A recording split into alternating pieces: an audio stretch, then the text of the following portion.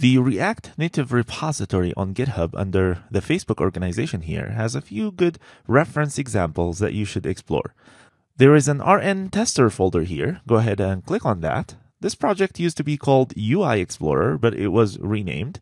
This is particularly important one as it can help you to explore all the React Native elements that you can use in the React Native project. To see the application in action, we'll need to clone the full React Native repository. The instructions here have a line you can copy to your terminal to do that. And once the repository is cloned, you need to cd into it and run an npm install command to get all of its dependencies. And when the npm install command is done, let's take a look at rn tester. You'll see a few directories there. We want to open the rn tester xcode project directory. So we can simply just do open rn tester rntester.xcode project, just like that. And this will open the project in Xcode. I'm going to go ahead and pick a different iPhone for the size. Just pick the iPhone 6. And to run this RN tester project, we need to click on this run button from Xcode. If you get this message about enabling developer mode, go ahead and enable them. The project will start building. The build process is going to fire up the React Native packager, and it will also start the simulator. Let's take a look at that. You will get the build succeeded notification, and you should see the RN tester project launching up in the simulator. You're going to love this RN Tester project. It has many examples of a lot of things that you can do with React Native, and you can explore how these examples look in iPhone, and you can also look at the source code. Of course, you can also run the project in Android and see how things are different in Android. You can explore the source code as well. Let's open up an atom on the RN Tester project. And the important directory to explore here is this JS directory, which has a file for every example in here.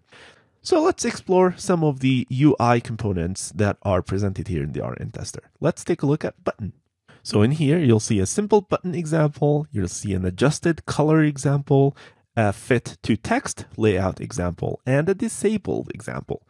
And you can press those to see the action that they do, which is calling the React Native Alert API. So if you want to see the source code for this button example, it's here somewhere. Look for button example. And in here, you'll see the four different examples that are presented here. Here's the on button press that just uses the alert API, which we are importing from React Native.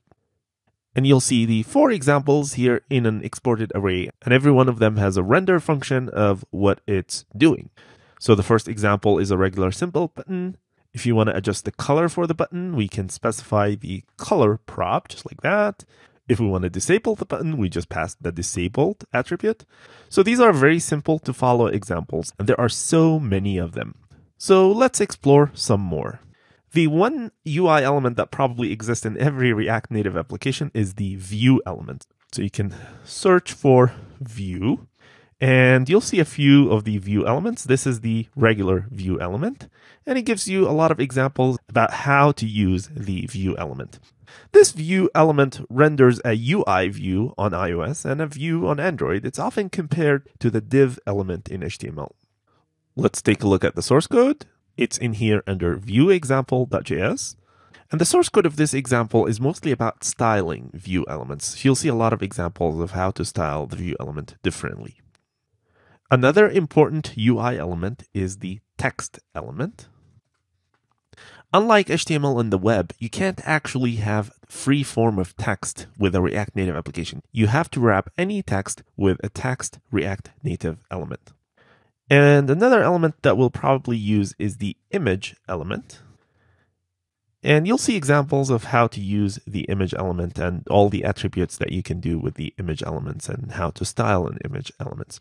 So take a look at all these examples and explore the source code and get yourself familiar with the way these UI elements are used in React Native. One thing you can notice is that there are some elements that are platform specific. Like for example, date picker iOS in here. If you search for iOS, you'll see all the iOS elements. And on Android, those will have the Android suffix as well.